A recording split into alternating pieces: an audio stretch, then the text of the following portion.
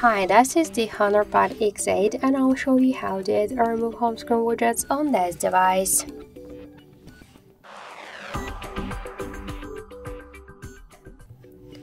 So first hold for a while the home screen with your finger or just to pinch to customize it and tap to the cards.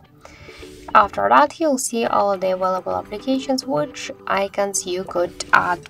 For example, let's add the calendar or the clock one just to add the widget, hold it and drag it to your home screen.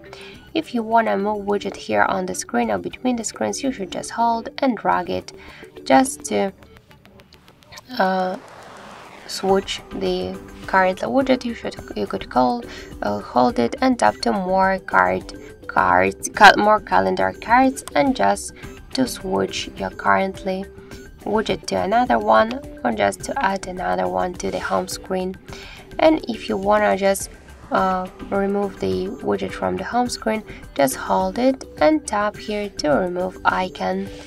So that's it. Thank you for watching and if you like this video leave thumbs ups and subscribe